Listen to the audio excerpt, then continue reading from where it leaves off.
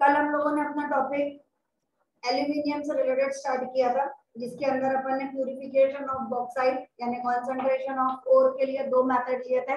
एक था bears process दूसरा था सरपेक्स एक था रेड बॉक्साइड के लिए, एक था व्हाइट बॉक्साइड के लिए। इतना हमारा हो गया था।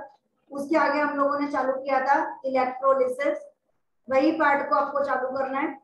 नहीं लिखा।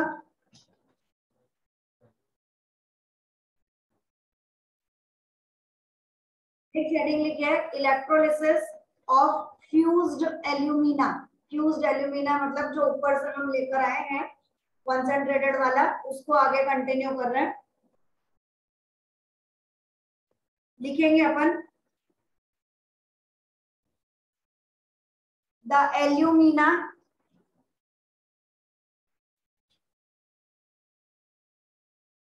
is dissolved in molten cryolite.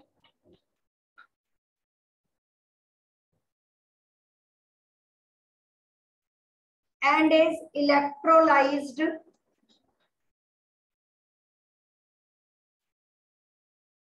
and is electrolyzed in an iron tank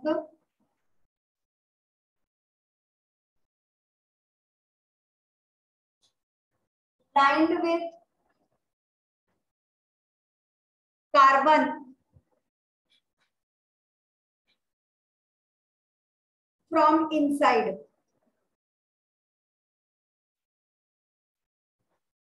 Full stop. The molten cryolite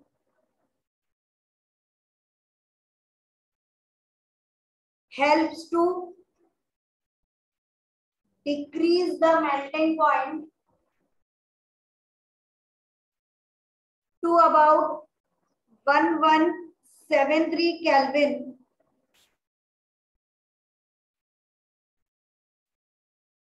and increases the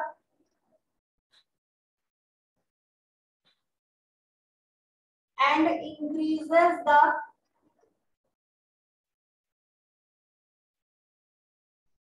conductivity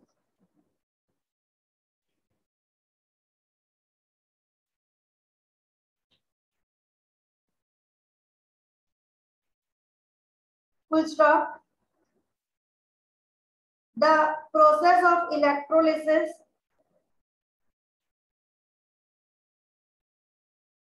the process of electrolysis occurs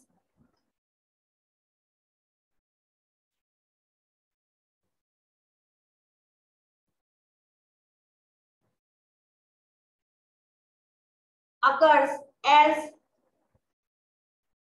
dash करके लिखिए। मेटल हमेशा कहा मिलता है? कैथोड पे। तो एड कैथोड, एल्यूमिनियम गेन्स लिखा है मैंने। L three plus plus three electrons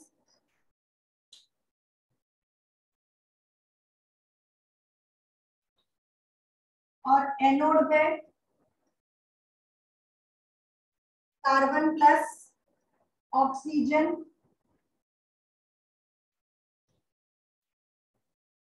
बेटा मैंने ओ ही लिखा है प्लीज़ ओ टू नहीं लिखना। ये अपन मेल्टेड फॉर्म में ले रहे हैं टेम्परेचर इतना हाई है कि अपन नेसेंट के फॉर्म में लिख रहे हैं। अगर आप ओ टू लिखें तो फिर half O two half O two करके फिर लिखना।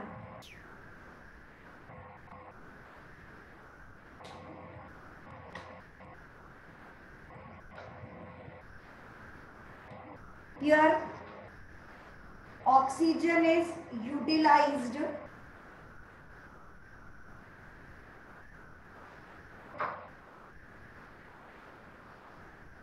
in the reaction to form carbon dioxide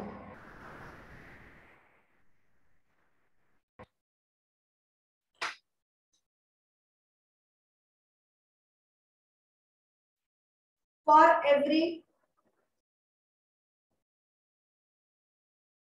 1 kg of aluminium produced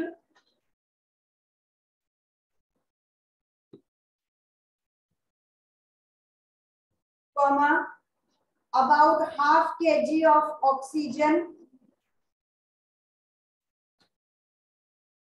अरे half K G of oxygen कहाँ चला है carbon I am sorry half K G of carbon is burnt away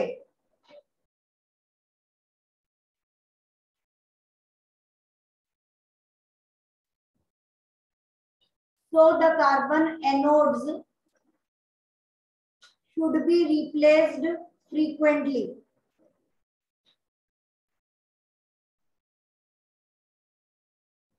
should be replaced frequently नहीं तो periodically बार बार बदलना पड़ेगा it should be replaced periodically board पे ये हम लोगों ने प्रोसेस का नाम अपन बाद में लिख लेंगे। The process is called as Hall Heroult process अच्छा क्वेश्चन है। इंपॉर्टेंट रहेगा लर्न करने के लिए। ये हमारे पास में हमने आयरन का टैंक लिया। अंदर की तरफ़ से इसको कार्बन की लाइनिंग कर दी। ये वाली जो लाइन है, ये कार्बन की बनी हुई है। और इसको हमने नेगेटिव से ज्वाइन किया।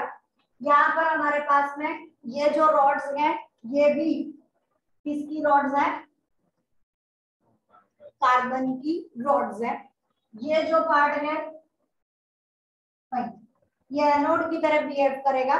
अब यहाँ पर हमने मोल्टन Al2O3 लिया। मोल्टन टेम्परेचर ज़्यादा है। अपने आप जो ऊपर वाला आपका Al2O3 था, वो कैसा हो जाएगा? मोल्टन फॉर्म में कन्वर्ट हो जाएगा। इट इज़ मोल्टन Al2O3 साथ में आपने वर्ड लिखा है cryolite cryolite is N A three A L F six इसे बोला जाता है क्रायोलाइट अब क्वेश्चन यहाँ पर यह हो गया कि क्रायोलाइट का काम क्या होता है? हम क्यों डालते हैं क्रायोलाइट तो उसके लिए मैंने आपको दो पॉइंट्स लिखवाए। पता ही नहीं चला कब लिख लिए। आपने लिखा है कि cryolite decreases the temperature up to 1173 kelvin and also it increases the conductivity तो ये जो दो पॉइंट आपने लिखे हैं, लिखते लिखते में वो आपके क्रायोलाइट के यूजेस हुए कि ये Na3AlF6 का काम क्या होता है? तो एक तो क्रायोलाइट क्या होता है और दूसरा क्रायोलाइट के काम क्या होते हैं? ठीक, उसके बाद में अब हमारे पास में ये मेल्ट होगा। एल्यूमिनियम एल्यूमिनियम नीचे आता जाएगा। ऑक्सीजन जो खाली बचा, वो इस कार्बन के साथ, ये कार्बन रॉड्स हैं। इनके साथ रिएक्ट करेगा कार्बन डाइऑक्साइड प्रोड्यूस करेगा गैस का बाहर की तरफ़ निकलेगी। अब यहाँ पर एक मैंने आउटलेट नहीं बनाया, यहाँ पर एक आउटलेट बनेगा। जो भी हमारे पास मोल्टन एल्यूमिनियम बनता जाएगा, उसको हम यहाँ से बाहर की तरफ़ निकालते जाएँगे। तो एल्यूमिनियम एल्यूमिनियम हम यहाँ से निकालेंगे। ऑक्सीजन जो है वो कार्बन के साथ रिएक्ट करके कार्बन डाइऑक्साइड बना के निकल जाएगा। For every one K G of aluminium produced कितना? Half K G of carbon is used अब आपको जो लिखना हो, बाकी रह गया, और लिखना वो लिख लीजिए।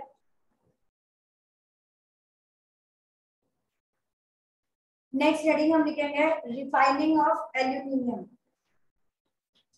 अब डेफिनेटली दिमाग में आना चाहिए कि रिफाइनिंग की क्या ज़रूरत है। क्योंकि हम तो ऑलरेडी इलेक्ट्रोलिसिस कर चुके हैं।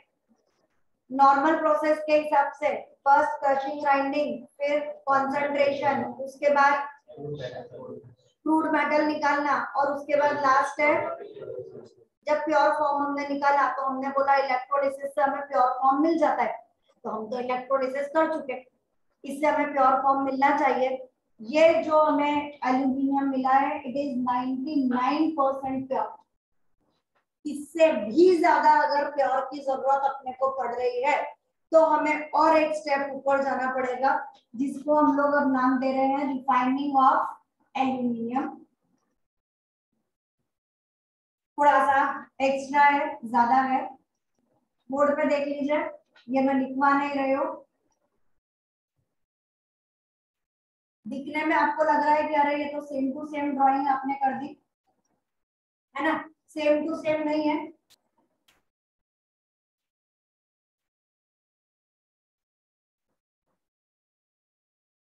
इस वाले के अंदर अपन लोगों ने टोटल तीन पार्ट्स करें। बता रहे हो, यहाँ से अपन लोग इम्प्योर एल्यूमिना डालेंगे। इम्प्योर पार्ट कौन सा? ये वाले को यहाँ नहीं ला रहे। वो जो पहले कॉन्सेंट्रेटेड वाला था कौन सा वाला? बेयर्स प्रोसेस या सरफेक्स वाला था उससे जो Al2O3 बना था that is called as alumina 99 percent तक चाहिए तो ये वाला हो गया। उससे भी ज़्यादा प्योर फॉर्म में चाहिए तो हम लोग नया मेथड ले रहे हैं। इसे हम लोग नाम देंगे हुप्स इलेक्ट्रोलिटिक मेथड ये भी इलेक्ट्रोलिसिस ही है लेकिन ये काय के लिए है? इस वाले से भी ज़्यादा प्योर फॉर्म के लिए हम लोग इस मेथड को यूज़ कर रहे हैं। This is called as hoops electrolytic method अपने पास जो इम्प्योर एल्यूमिना है, वो हमने यहाँ से डाला। डाला डाला डाला, वो यहाँ पर आया। टोटल इसको हमने तीन लेयर्स में डिवाइड कर रखा है। This is your first layer this is your second layer and this third this is the third layer तो जो एल्यूमिना आएगा, वो सेकेंड वाली लेयर में जाएगा। ये वाला हो गया हमारा मोल्टन फॉर्म उसके बाद में इम्प्योर वाला पार्ट नीचे चला जाएगा। प्योर वाला पार्ट हमारा कार्बन वाली रॉड्स के पास में आ जाएगा। इसका मतलब ये जो तीन कार्बन की रॉड तीन, चार, पाँच जितने भी हो, ये वाली जो कार्बन रॉड हम ले रहे हैं दे एक्ट एज कैथोड और ये वाला सेम आयरन हाँ ये पूरा आयरन से बना हुआ है। ये वाली जो लाइनिंग है, ये भी कार्बन की है एंड दे एक्ट एज दोनों का डिफरेंस समझ में आएगा। यहाँ वाले में हमने इस वाले को कैथोड लिया। जो भी हमारा प्योर फॉर्म है, वो नीचे आता जा रहा है। प्योर फॉर्म नीचे आ रहा है, हो सकता है बाई चांस एक परसेंट इम्प्यूरिटी सेटल डाउन हो जाए। इसलिए ये नया मेथड डिज़ाइन किया गया कि अब हम लोग इम्प्यूरिटीज को नीचे ही रखेंगे और जो प्योर मेटल होगा, बोले उसको ऊपर जाने दो कहाँ पर एट द कैथोड तो केवल ये प्रोबेबिलिटी कि बाई चांस कोई चीज़ हैवियर हो, कुछ हो, इसलिए वो इम्प्योरिटी के फॉर्म में नीचे आ जाए तो ये नया मेथड डिज़ाइन किया गया which is called as hoops electrolytic method iron tank दोनों में है कार्बन की लाइनिंग दोनों के अंदर है कार्बन की रॉड दोनों के अंदर है। डिफरेंस क्या किया? यहाँ पर ये कैथोड बन गया मतलब aluminium pure part is deposited at carbon rods which are cathode तो ऊपर जा रहा है हमारा प्योर एल्यूमिनियम ऊपर पहुँच जाएगा। और यहाँ पर कैथोड कहाँ पे था? कार्बन लाइनिंग पे। तो प्योर वाला पार्ट नीचे आ रहा था। तो दोनों का केवल इतना चेंज इलेक्ट्रोलिटिक मेथड लिख लीजिए। ये अपना पूरा एल्यूमिनियम जो है, अपने को प्योर फॉर्म में मिल गया, काम खत्म हो गया। हमारा टॉपिक ही था एल्यूमिनियम से रिलेटेड अब नेक्स्ट अपन चालू करेंगे आयरन तो एक्सट्रैक्शन ऑफ़ आयरन टोटल हमें चार लेना है एल्यूमिनियम आयरन जिंक और कॉपर तो एल्यूमिनियम कंप्लीट हो गया। आयरन हम स्टार्ट कर रहे हैं।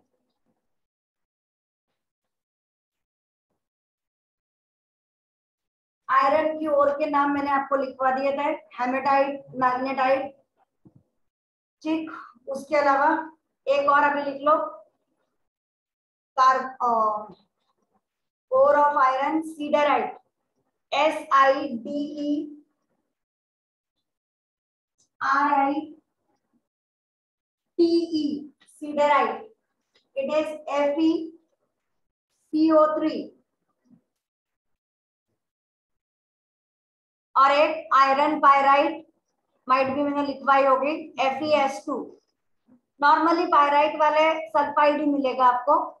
आयरन पायराइट कॉपर पायराइट मतलब पायराइट ठीक है। तो आयरन जो है, वो हर एक फॉर्म में प्रेजेंट है।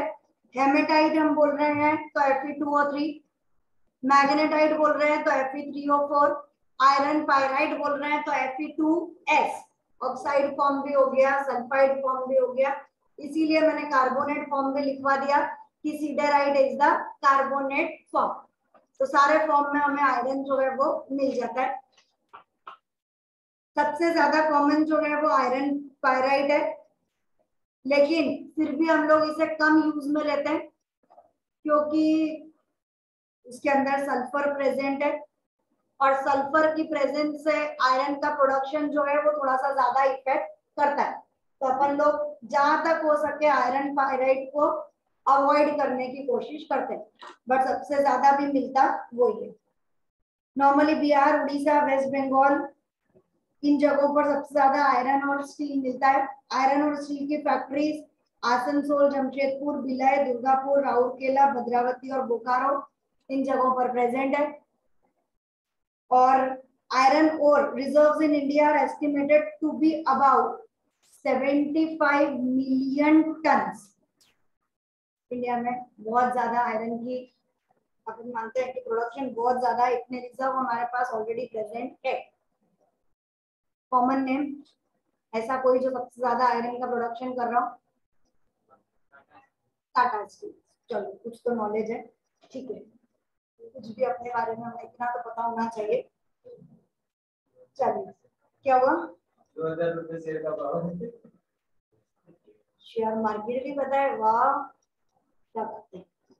चलिए कॉन्सेंट्रेशन ऑफ़ नहीं पहला क्या कहलाएगा? क्रशिंग एंड ग्राइंडिंग वो हमारी first step second concentration of ore which is done by gravity separation नहीं पता चला क्या हुआ?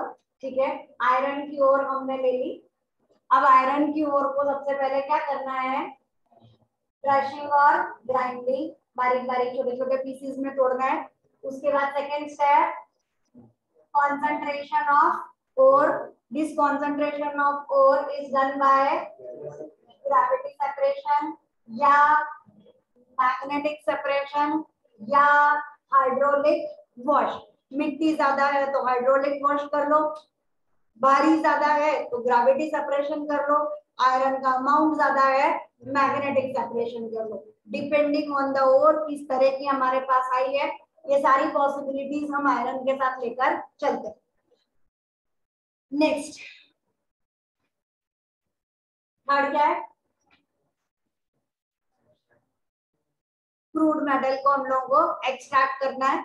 उसके अंदर हम लोग अपन ने बोल दिया कि भाई हम लोग सल्फ़र वाली तो पसंद नहीं कर रहे। आयरन पायराइड हम लोग नहीं ले रहे। Fe2S लेते तो प्रोसेस क्या कहलाता?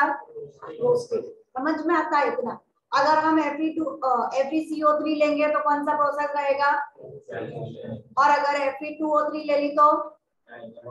तो फिर आपको ज़रूरत ही नहीं है क्योंकि वो ऑलरेडी आपको ऑक्साइड फॉर्म में मिल गया। ठीक है ना? तो डिपेंडिंग ऑन द ओर ये प्रोसेसेस हमारे चेंज होते हैं। अगर आपको स्पेसिफिक कोई वर्ड दे रखा हो तो उसके अकॉर्डिंगली आपको समझना है। ऐसा नहीं कि मैम ने लिखवाया था तो हम तो यही मानने वाले ठीक है? बुक बोल रही है कि कैल्सिनेशन करो। क्यों बोल रही है बुक क्योंकि बाय डिफ़ॉल्ट हम लोग और कौन सी ले रहे हैं? तो कैल्सिनेशन यूज़ होगा ना भाई। अगर एफ़ टू एस होगा तो रोस्टिंग करनी पड़ेगी। तो F C O FeCO3 breaks down to give FeO plus CO2 oxide form में। FeO थोड़ा बहुत ऑक्सीजन के साथ रिएक्ट करेगा टू फॉर्म Fe2O3 अब अगर और ही ऐसी हो जिसमें Fe2O3 मिल रहा है तो फिर कैल्सिनेशन हमें नहीं करना पड़ता। ठीक? जब हम ये कैल्सिनेशन करेंगे तो अगर थोड़ा सा सल्फ़र प्रेजेंट है तो सल्फ़र डाइऑक्साइड बन जाएगा। आर्सेनिक प्रेजेंट है AS2O3 बन जाएगा। इसीलिए मैंने कभी नहीं लिखवाया कि कैल्सिनेशन अकर्स इन एबसेंस हमेशा क्या लिखवाया? एबसेंस और लेस अमाउंट समझ में आता है? वो लेस अमाउंट क्यों चाहिए? इम्प्यूरिटीज भी तो बाहर निकालनी है। इसके पास नहीं चाहिए? लेकिन इन लोगों को तो चाहिए।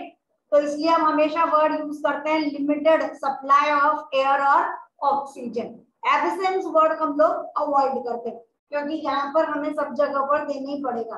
फास्फोरस है ऑक्सीजन दे दो, क्या बन जाएगा? P4O10 तो ये सारी इम्प्यूरिटीज जो है, ये उनके ऑक्साइड फॉर्म में बाहर निकलती जा रही है। तो क्रशिंग बाइंडिंग कॉन्सेंट्रेशन उसके बाद कैल्सिनेशन उसके बाद और लिखवा रहे हो, इतना कंप्लीट करिए। उसके बाद हमारा कौन सा होता है? रिडक्शन करना है ना, आपको रिडक्शन बाकी है ना। Fe2O3 बना है। अभी क्या चाहिए? Fe चाहिए ना क्रूड मेटल चाहिए। तो that is done by reduction reduction अगर कार्बन के साथ कर रहे हैं, क्या कहला रहा है? स्मेल्टिंग इसका जो स्मेल्टिंग चलो इसका क्या? कोई सा भी स्मेल्टिंग हो टाइम में अकर होता है? यहाँ पर हम लोग वर्ड यूज़ करेंगे ब्लास्ट फर्नेस कौन है ये? आयरन है. स्पेशल केस हम लोग पढ़ रहे हैं, इसीलिए स्पेशल स्पेशल नाम भी ले रहे हैं। एल्यूमिनियम के लिए इलेक्ट्रोलिसिस के साथ वर्ड क्या पढ़ा? हॉल हेरोल्ड प्रोसेस तो वो एक नाम हो गया स्पेसिफिक ऐसे ही जब अपन आयरन पढ़ेंगे तो smelting is done in blast furnace ये अपन अभी देखेंगे कैसा होता है। इतना कंप्लीट करिए।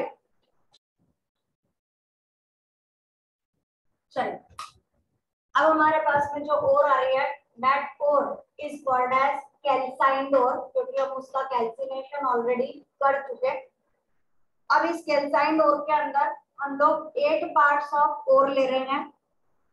फोर पार्ट्स ऑफ़ ये जो कैल्साइंड है ये एट पार्ट्स जो कोक है कार्बन है दैट इज़ फोर पार्ट्स और उसके साथ में CaO limestone CaCO3 is one part ऐसा पूरा एक मिक्सचर हमने तैयार किया। कैसा?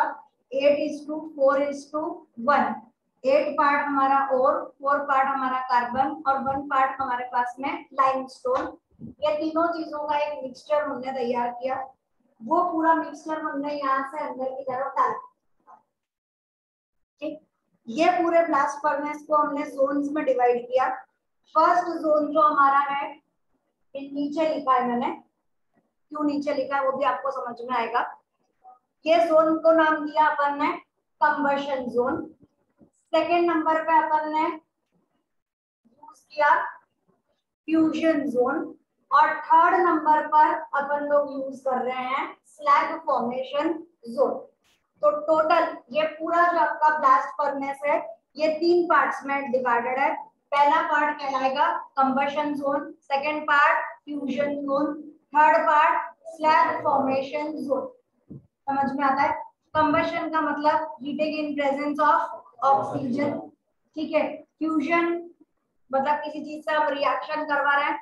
और स्लैग फॉर्मेशन जहाँ पे हमारे पास क्या वर्ड पढ़ाया था? फ्लक्स हाँ इम्प्यूरिटीज को हटाना है।